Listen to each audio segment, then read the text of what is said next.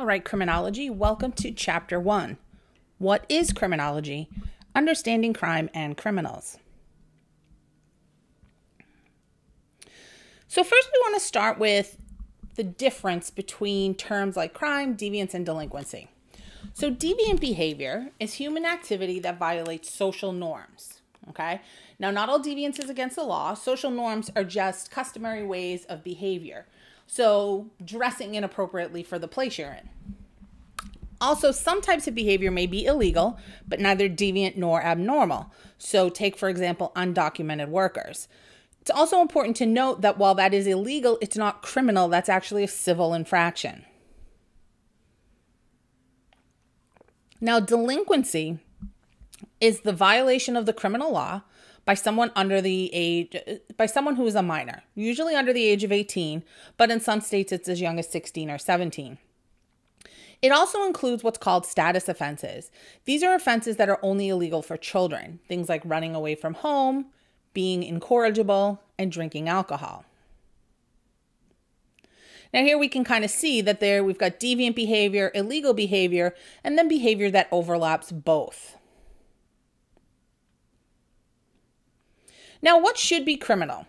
What is a crime is different from the question, what is criminal? Now, there's generally agreement that behaviors like murder, rape, burglary, theft should be against the law. Other things like abortion, gay marriage, drug use, gambling, prostitution, and gun ownership, there's less agreement about. So, how we answer these questions can be found in two viewpoints of the law, one or models of the law. One is the consensus model, and the other is referred to as a conflict model, although your book is referring to it as a pluralistic perspective. Now, the consensus model says that things become illegal because society has come to a consensus that those behaviors are unacceptable, that those laws are necessary.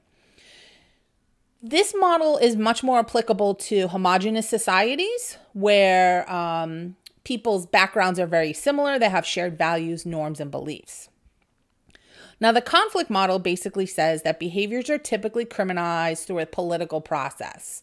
And usually the law is a tool that's used by those in power in order for them to maintain their power, and that that also subjugates those who are less powerful. So, what do criminologists do? A criminologist is someone who studies crime, criminals, and criminal behavior. I am a criminologist. This is usually people who are academics, researchers, and policy analysts. Um, generally, these folks hold a doctoral degree. I have a PhD in criminology and justice studies. Many teach in universities and colleges and do research. Now, some are strictly researchers and might work for a federal agency or a private organization. A criminalist is someone who specializes in collecting and examining physical evidence. And a criminal justice professional are all the folks that work in the criminal justice system police officers, COs, probation and parole officers, attorneys, judges, etc. So here we see some examples of jobs in criminalistics. And then some examples of jobs that are criminal justice professionals. And as you can see, while many people often think, oh, you're majoring in criminal justice, you must want to be a police officer, there's actually a wide array of jobs available in this field. So, what is criminology then? Criminology is an interdisciplinary profession. So, it's built um, and has roots in a variety of different fields. It studies crime and criminal behavior, how that manifests itself, what causes it, legal aspects, and control of it. It's generally referred to as the study of the law making, law breaking, and reactions to law breaking. Criminology then contributes to the discipline of criminal justice, which is really looking at how the criminal law is applied to the criminal justice system. Now, theoretical criminology tries to offer explanations for criminal behavior. So instead of just describing here's how many murders there are. Here's who's likely to commit them. It's trying to explain why that happens. And there's many theories that have been developed over time to explain and understand crime. Now ideally a theory should have a set of clearly stated propositions that suggest relationships and sometimes causal relationships between different things. Now, a general theory would attempt to explain most forms of criminal conduct using one cause, one single approach. There is a general theory of crime, um, but it doesn't actually really explain all criminal offending. Now, another thing we often talk about in criminology is integrated theories. How can we draw from the most powerful aspects of different theories and pull them together in order to come up with a better theory that explains criminal offending?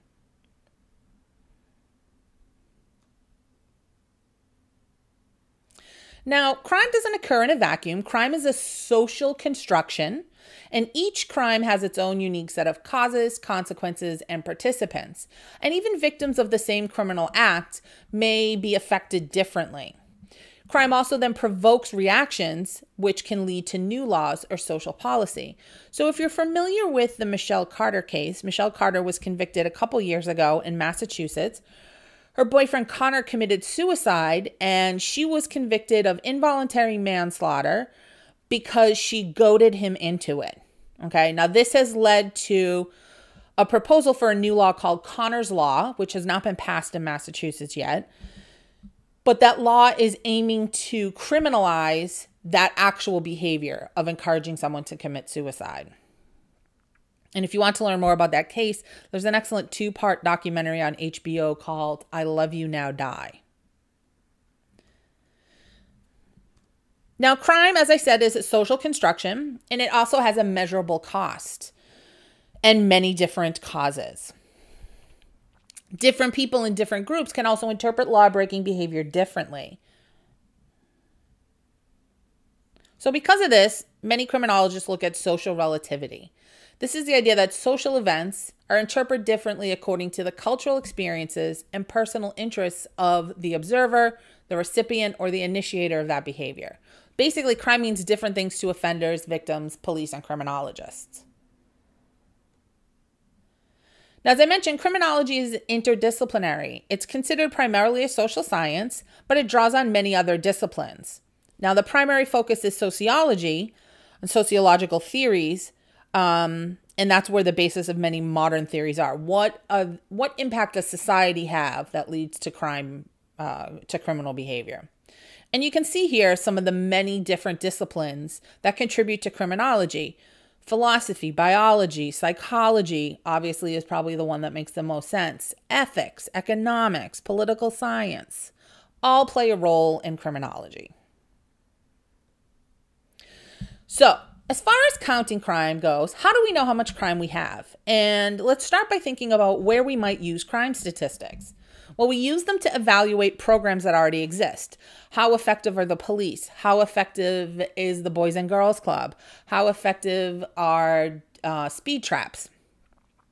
We use them to design new crime control policies. We use them when we're developing requests for funding from the government and to plan new laws. But which crime should be included or excluded is really a reflection of what a particular policymaker's interests are. Now, it's difficult to determine how much crime occurs each year, and many never even come to the attention of the criminal justice system. On average, there's more than more than half of all violent crimes are unreported to the police, and that's often referred to as the dark figure of crime. Because then when we're looking at police data, we're missing all the crimes that the police don't know about.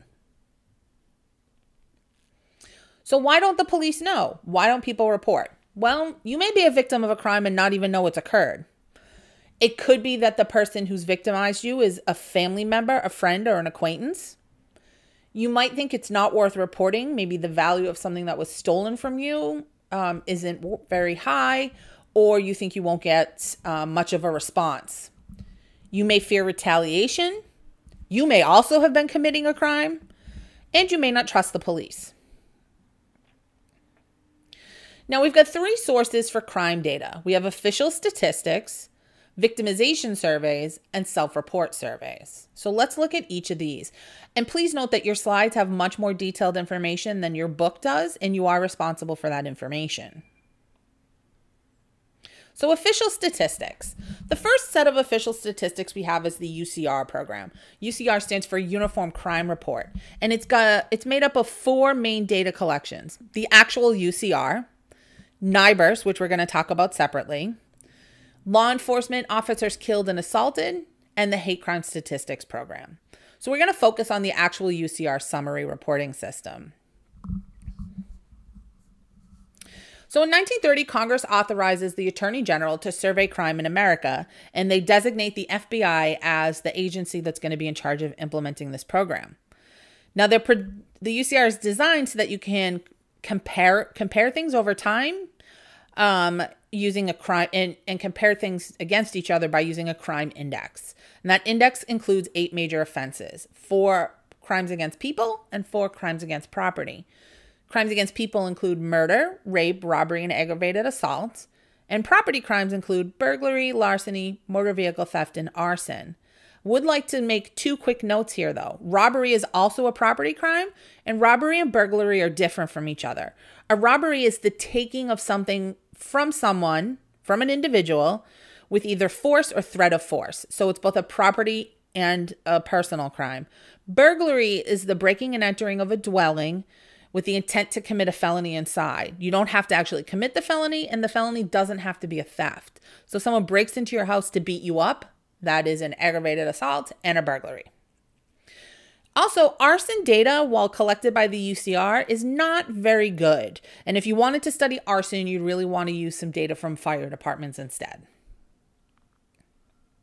So the UCR reports a crime rate. That's the number of crimes per 100,000 people.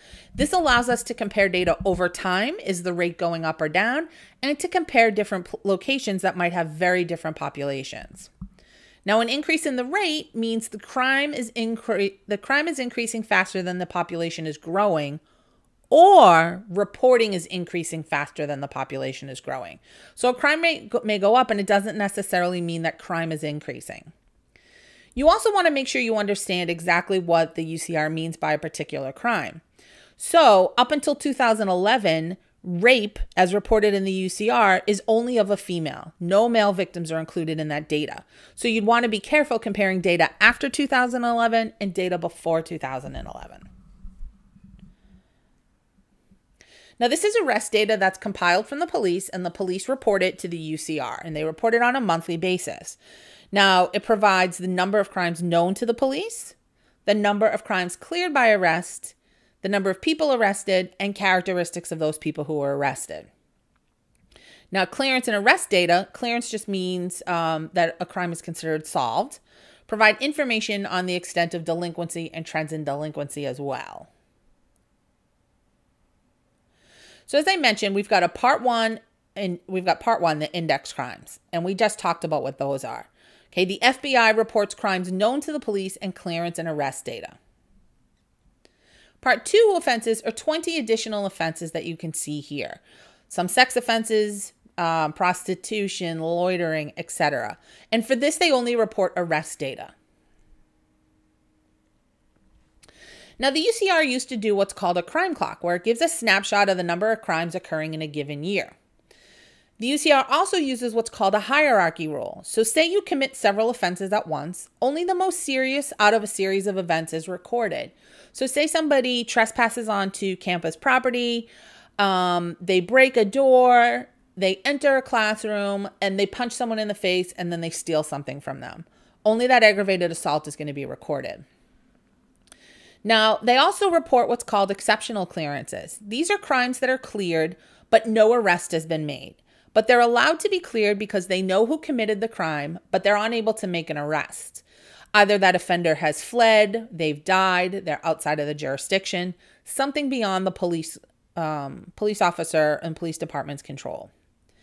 The UCR also divides the country into four regions Northeast, South, West, and Midwest. This is basically just geography. Now, here we can see the 2016 crime clock statistics. It's telling us how often particular crimes occur. So, a violent crime occurs every 25.3 seconds, and a property crime occurs every four seconds. There's one rape in the US every four minutes. Now, keep in mind, that's just reported rapes. Okay? There's one murder every 30 minutes, and one larceny theft every 5.6 seconds. Now, as I mentioned, clearance rates are also reported. These are crimes that are considered solved. It doesn't mean that there's been arrested, prosecuted, convicted, or incarcerated. It means the police are reasonably certain that they know who committed the crime. Again, you can clear by arrest, which would mean an offender was arrested, or you can clear something exceptionally. You can see here from 2017 the percentage of crimes cleared by an arrest or an exceptional means. So, murder has our highest clearance rate, followed by aggravated assault. Then, when we get down to crimes like burglary and motor vehicle theft, you can see that there's a really low clearance rate for these offenses. Now, there's some advantages of these official statistics. They do represent approximately 95% of the US population. It also provides us long term information on trends in crime. We can look over periods of years to see where things are increasing or decreasing. And it does provide moderately accurate measures of certain types of serious crime. Now, the disadvantages first of all, we have that dark figure of crime. As I mentioned, only about a third of all crime victimizations are reported to the police. There's also many crimes that don't have a quote unquote victim. So, who would be reporting um, that somebody sold you drugs? It's also important to remember that it's really difficult for police to actually detect crimes on their own. Offenders are often not caught by the police, and even if caught or identified, they might not be arrested because police have a lot of discretion or there might not be enough evidence to arrest somebody. Police also sometimes make mistakes. Um, I looked at not UCR data, but NIBRS data, which we'll talk about in a minute, looking at statutory rape. And there were offenders listed in there as being less than one day old, a year old, three years old. Clearly, a baby is not a statutory rape offender. It's probably someone is typing in age, they're typing in a two digit number, but only one number makes it in. Police also sometimes deliberately distort data. They will unfound crime reports. That's basically saying that that crime didn't happen. Someone reported a crime, but the police don't believe it happened. And they may reclassify things from a more serious to a less serious category. Um, and this is often done so that a city looks safer. And as I mentioned, we have the problem with that hierarchy rule as well. Now, in order to correct this, the FBI recognizes there's some shortcomings of the UCR and they decide to implement the National Incident Based Reporting System, which is referred to as NIBRS. And this gathers much more information. And if you click on this link, you can see a video that will tell you a lot about how NIBRS actually works. So this is developed and it's voluntary and it coexists with the UCR. And by 2021, every state is going to have to report their data this way. Now, it has Group A and Group B offenses. Group A is 22 offense categories made up of 46 specific crimes. So many more crimes are covered in this. So I did a large study, as I mentioned, on statutory rape. You can't track statutory rape in the UCR, it's not a crime that's actually tracked there. There's also 11 Group B offense categories for which they only report um, arrest data. Here you can see our Group A offenses. So you can see under fraud, we've got a whole variety of frauds. Under assault, we've got a variety of different types of assault. You can see for sex offenses, we have forcible offenses, forcible rape, forcible sodomy, sexual assault with an object, and forcible fondling. And then we have non forcible offenses, incest and statutory rape. So that's the only place you'd be able to study this using official uh, official data, because those are not the, at least the non forcible ones are not in the UCR. And then we've got our group B offenses. Uh, peeping toms, disorderly conduct, etc. So only arrest data are reported for this. Now, um, before we move on to the NCVS, one more thing to know about NIBRS is NIBRS doesn't follow a hierarchy rule. For each um, incident that's reported to the police, that incident can contain up to 10 offenders, 10 victims, and 10 criminal acts. It also is an incident based reporting system. So it's not just a summary of X many rapes, 10% of them were women, 90% were men. You can link victim, offender, and all the information of one particular incident together. So you can do more with this data than you can with UCR data. Now, how do we try to figure out what's going on in that dark figure of crime? Well, the National Crime Victimization Survey, uh, survey begins in 1972. And originally it's called the National Crime Survey. So, this is a survey that's done of 60,000 homes every six months, and a home is in the sample for two and a half years.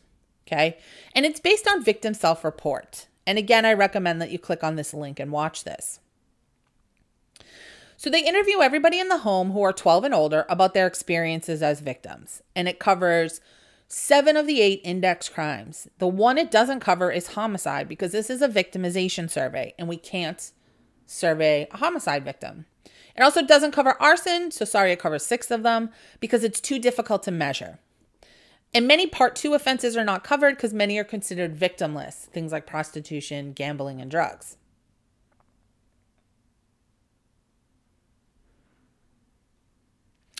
It covers the characteristics of the crime, the time, the place, the number of offenders and use of weapons, victim characteristics, age, gender, race, ethnicity, marital status, household composition, and education, perceived characteristics of the offender, age and gender, circumstances around the offense, financial loss and injury, and patterns of reporting and reasons for not reporting. Now, this covers crime in a more limited way than the UCR. And while it's done by trained interviewers, there may be some variations in how one person interviews versus another. One thing that also happens is um, survey responders, right? So victims who are answering these questions may telescope events. If I asked you what happened to you six months ago, I'm recording this lecture in December, so now we're going back to June. You may think something that happened in May happened in June, or something that did happen in June you might think happened before that. Um, memories fade over time, and sometimes people um, lie. They either don't want to share something that they feel is embarrassing, or they lie and say things happened that didn't. It also records only the most serious event when several occur at the same time. Now, again, reports can have faulty memory. Also, something to think about with both the UCR and the NCVS is that as information moves up levels of bureaucracy, data may become corrupted or inaccurate. We don't get any clear picture on victimless crimes, white collar crime, high tech embezzlement, and computer crimes. Um, also, it's important to note any um, footnotes in the data. So, for example, the 2001 UCR does not include the 2,830 homicides from 9 11 because it's considered an unusual event and it would skew the crime rates. Now, we can also gather what's called self report data. I, we can ask people about their involvement with criminal activity, and it works the same way a victimization survey works. We can ask about the extent of the delinquency, um, usually it's limited to like the prior year, and they're often anonymous and confidential. Otherwise, people probably wouldn't answer them. Now, the major advantage is that they can provide estimates of all crime committed. We can ask people about why they commit offenses and how often they commit them. And we can probe more on their backgrounds. So we can get richer information about offenders this way. There's three examples here in your book. Um, sorry, actually, these are, I'm not sure if these are all talked about in your book. There's three examples here on your slide. Um, the Monitoring the Future survey is one that has been done every single year. Um, and what it does is uh, it surveys 8th, 10th, and 12th graders about a variety of things, but reports annually on patterns of drug use. And if you click on any of these um, hyperlinks for each of these surveys, it'll bring you to information about that survey. Now, there's some problems with self report. First of all, how truthful are people? Well, we can use different methods to try to estimate that. Say we're surveying um, people that are in a correctional population. We could try to compare that with official records. Um, if we were asking people about drug use, we could also drug test them. Now, the research tells us that data is moderately accurate, people are reasonably honest, and there's a minor level of underreporting for serious offenses. It's also difficult, though, to estimate trends because few of these are nationwide and few of them are long term. They also tend to underestimate serious crime.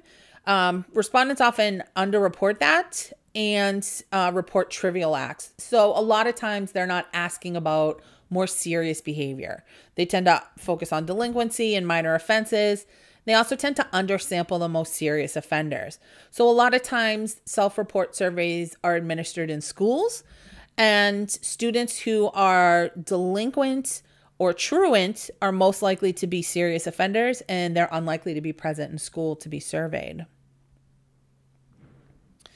Now, there's been three major shifts in crime rates. Um, one is from the 30s through 1959, where crime decreases sharply because we have young men entering military service.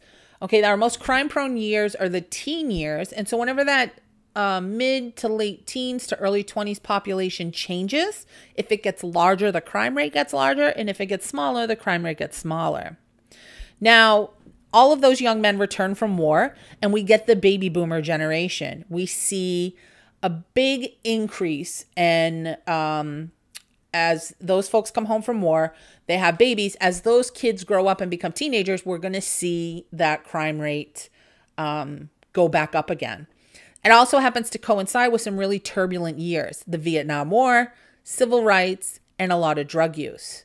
Now, in the 1980s, we see a very brief decline um, and that's because the baby boomers start aging out. That's what we refer to that idea that people start offending in their mid teens and they age out in their late teens, early 20s. That's, um, or they stop offending it during that time period. We refer to that as aging out. Now, the 90s, we see up until pretty recently decrease in most major crimes. Okay. There's a lot of new laws, expanded justice system, a lot more funding. We're also starting to do a lot more evidence based um, policies and situational crime prevention, which we'll talk about in more detail in another chapter, but is essentially improved security measures. So things we can do to make a target, um, you know, a potential victim less likely to be a victim. Now, recent evidence suggests that decline in crime is ending. We could be on the cusp of a new cycle of increased criminal activity. This is due to things like um, a less stable economy, increased joblessness, prison closures, budget deficits, and copycat crimes. Also, we have more random mass shootings and an increase in cyber offenses. Now, just going to end up talking about evidence based criminology. Evidence based criminology is the idea that we want to use rigorous social scientific techniques to develop knowledge in this field. It's the idea that policy should be based on what does research tell us causes offending and what tells us what works. Okay, ideally, we want to have social policies be effective because they're based on science. We also want to think about translational criminology. How do we take our research, those of us that are criminologists, and how do we get that disseminated to folks that make policy? And how do we translate that into practice? And that ends chapter one.